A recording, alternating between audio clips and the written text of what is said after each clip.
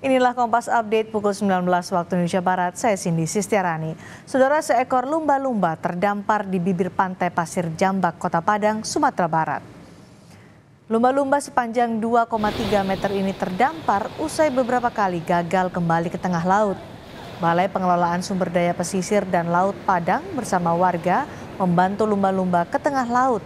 Digiring menggunakan perahu nelayan selama 4 jam dan lumba-lumba itu akhirnya berhasil kembali dilepaskan ke tengah laut.